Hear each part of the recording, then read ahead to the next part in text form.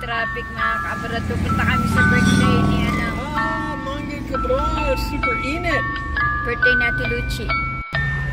Ang Amerikanong gustong mag-stay ng Pilipinas pero panay reklamo sa sobrang Sobra init. mm, Tingnan mo yan. Paano ka mag How are you going to stay in the Philippines if you always say sobrang init? Uh, we'll get me an air conditioner. or, I should say, aircon. Tinama ng magalingan eh. Get me an aircon, and I'll be okay. and some internet. Ayan, yung gas dito, ano, $2.78. Mamaya dyan kami pag magpagas. Ano, came from West Virginia. Wow. At syempre, may nakaharang na train. Oh. Stuck kami dito. Si Kano mga ka-abroad, pag nagreklamo, wagas. Grabe daw init. You should stay here in your place. Don't go somewhere because you're always complaining it's hot. You know? You. Well, you're the one that says it's hot too. Ah, Exactly. you're the one who say, keep saying it. Yeah, Hot, well, hot, who hot. was saying it before? You were. Ayan, 1,000 years later, umandar na uli. o, kapapark lang namin mga ka-abroad. May isang train na naman na dumating. Ayan o. Ang haba pa naman yan. Ayan o. Magpansit tayo o. Ito na si Chef Lorne. Ito na yung aking mga tong na gagamitin. Meron pang, ano bang tawag dito? Parang spatula. Ito may mixer, pero I like this one. Oh, ito yung aking ihaw. Mainit. Oh, yan yung flower- flowers na Ate Lucy. Meron siyang sunflower. Yan, mainit. Yan. Aba, ganda pa rin ito, oh. Tingnan mo to, oh. Oh, dami ni bulaklak ni Ate Lucy. Talagang ano siya. Talented ang kanyang mga kamay. Ah, tingnan mo naman to. Naku, may train na naman. Yung mga flowers na Lucia, yun o. Hindi na ako lalapit kasi nakita ko ang daming ano, daming honey, honey bee. May bagong mountain dew mga kabrot. Ayan o. Ngayon ko lang ito titikman. Andito na tayo sa bahay na. Ate Lucia, happy birthday! Nakaano Thank pa yan o. We're just Naka- starting to like cook. Mhm. We have nothing yet. Yep. So, try na natin tong mountain dew ni Ate Lucia. Hala, ang sarap. Okay. Ang sarap pala to. Ayan. Mhm. Ay, Lord, nagluto ako dito ng bangus at saka ano o, na may vegetable. Mm, yum. Ito ni ate, oh. May spinach daw to. Bangos at saka ano, te? Bangus at shrimp. Ay, Meron akong aluminum foil dito sa ulo mga ka-abroad. Hindi niya nakikita kasi nag-iihaw ako. Ang init eh. Ayan. Sa Ate Lucy, masarap siya mag-barbecue kasi alam niya yung timpla. Marami tong alam na ano eh, na sikreto sa buhay, o, di ba? Tayo, marami tayong mga alam na kalokohan. Iba, sikreto. Yan. There you go. Then,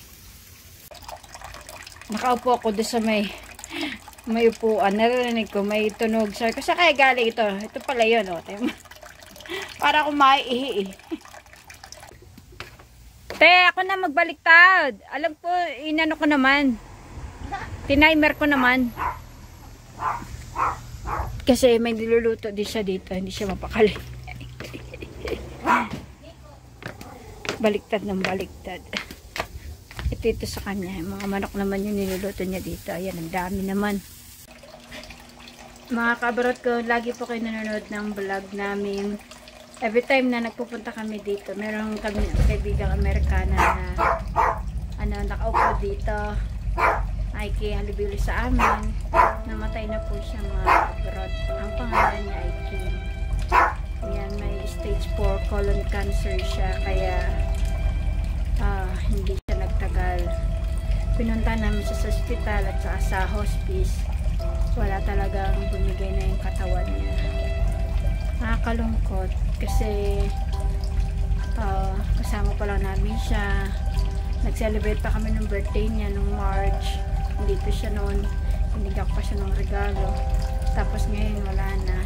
Yung naka, naka ano, bigat sa dibdib din na pupunta ka sa isang okasyon tapos mayanta mo wala na. Hindi na siya makakarating. Ganun pa man may may rest and peace team. Thank you sa ating mga pinagsamahan at uh, nawain ma-enjoy mo ang life mo kung nasan ka man ngayon. Ano?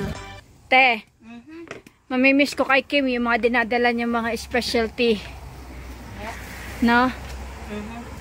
And, Tapos Ate Luchi, happy birthday to Luchi. She said she still got a lot of seafood in her. Did you see her freezer? Yeah, punong-puno nga eh. Di ba nung ano, nagpunta ako doon, nag-rep Everything tour ako. and she won't even let Clive take any and Clive pay half of the meat and now it goes to like the so-called friend. Oh my so-called goodness. friend got it all. My. Bale, mga kaabala, di pa paliwanag ko yung nangyari. Ano, wala kasi yung anak, yung kaibigan namin yun na namatay. Ngayon, iwalay din siya sa asawa niya last December. Tapos, yung mga pinamanahan niya, yung mga kaibigan niya.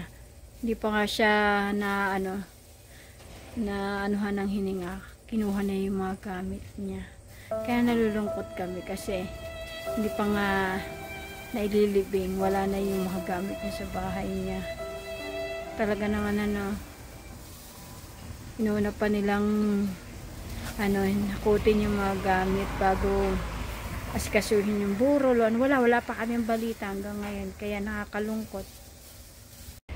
Ito, masarap din tong strawberry daiquiri.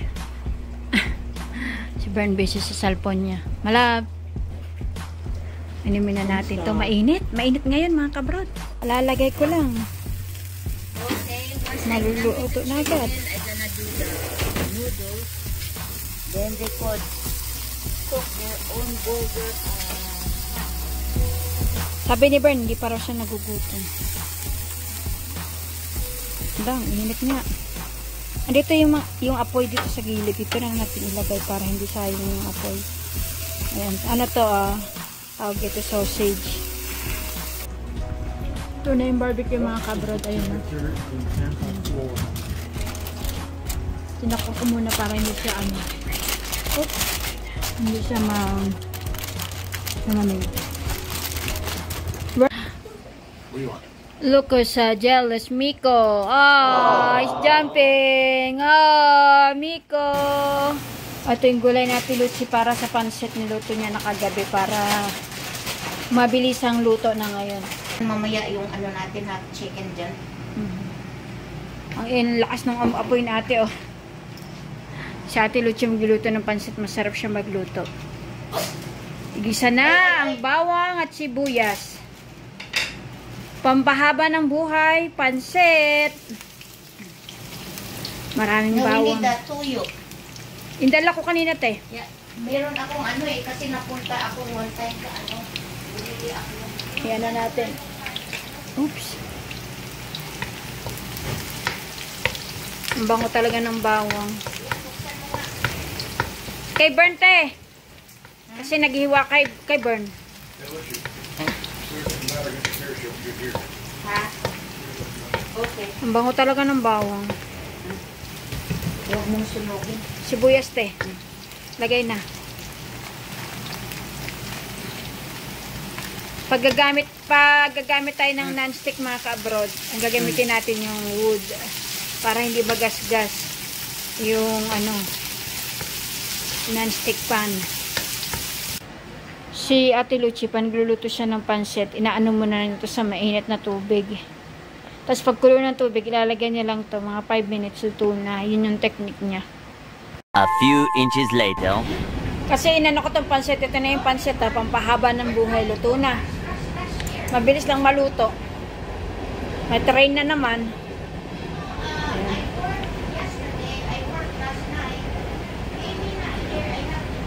Yan na. Luto na to. Ito kumakain na si Kano. Ito yung pagkain niya. Burger. Burger. Talagang yan ang pagkain niya. Burger tayo ng isa nito.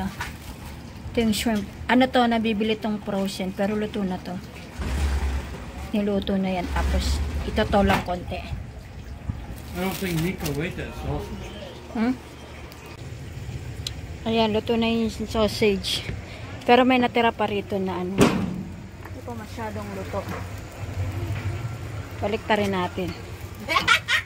Tay, hindi pa ito masyado luto, te. Ito na yung pagkain ko. Kumuha ko ng ano, nung tag dito.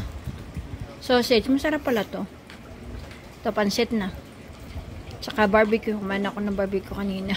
Dalawang Don't piraso. forget to say cotton tayo. Kain tayo. Hey, alika na. Hey, Han.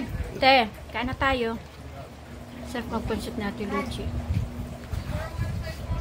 Alam niya talaga yung... Ivern, you wanna play cornhole? Sure. Sure. I can't stay real late though.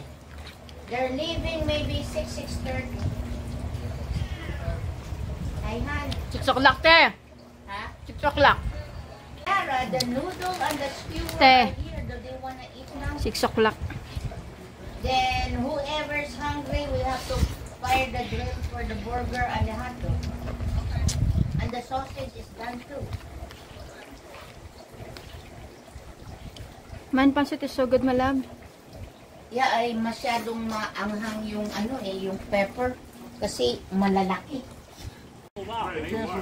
Ito, naglaro na sila ng ano, ng... Ang bango ah. Smells good. Ano si out. Ito yung cornhole na nilalaro nila. May ibang dumating ngayon na. Teacher daw yung nakikula blue. Guro. Guro, guro, guro. Andiyan yung asawa. mo.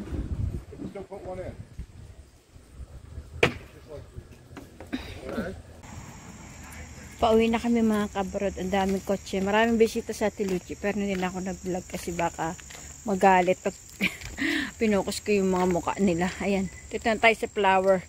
Hindi pa sila magreklamo. Kahit i-focus mo na i-focus. Ayan o. Di ba? Mine. You see these leaves? Yeah. Oh, mga ka-abroad, malapit nang mag-fall. Kaya yan, mm, nalagas na yung mga dahon sa puno. Sign na yan. Ayan, pag nalagas na yan, ibig sabihin magtataglamig na. Konting ano na lang, mga ilang buwan na lang, magtataglamig na. Ayan, umuwi na kami at uh, mag-edit pa ako. It's time to edit. Happy birthday, Sister Luchi. More blessings from Happy- the Lord. Good Happy health. birthday, Lucci. good health and more We didn't get a chance. Powers. We didn't get a chance to eat the birthday cake. magpagas mo na si Kano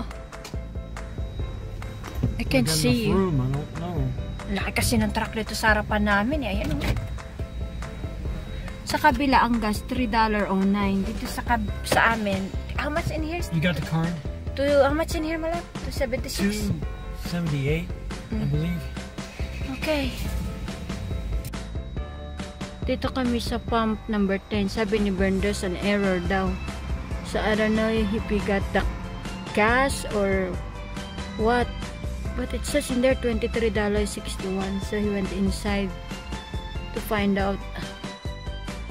Merong ano, maingay. Banda doon. May Antonio's Towing. Ayan o, 216 225 2396. Mine. Did you put gas already? Huh? Did you put gas already? Paid it. Huh? I paid for it. Okay, where's the receipt?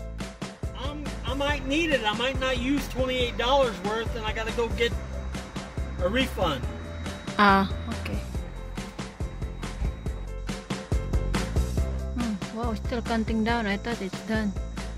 A $27 now. May TV yung ano, may monitor. Ayun oh. We're going to put exactly $28 because that's what he said earlier so that they don't need to come inside and get the refund but still he needs to get the receipt are you still going inside to get the receipt okay dalawa yung aming resibo kasi isa binigay sa loob ito isa nasa labas both $28 and I asked my husband are you sure we didn't get See, charged here's like what twice. happened. Here's what happened. The uh, chip reader wouldn't take my card, so I had to go inside and pay for it. He couldn't just hold my card, so I gave him a number. I said $28. So he gave me a receipt for $28. I came out and started pumping the gas, and I wound up, I was able to get it to $28. So it asked me if I wanted a receipt. I said yes. So Okay. that one, Mhm. Shell. Dito sa Shell 309 ng ano,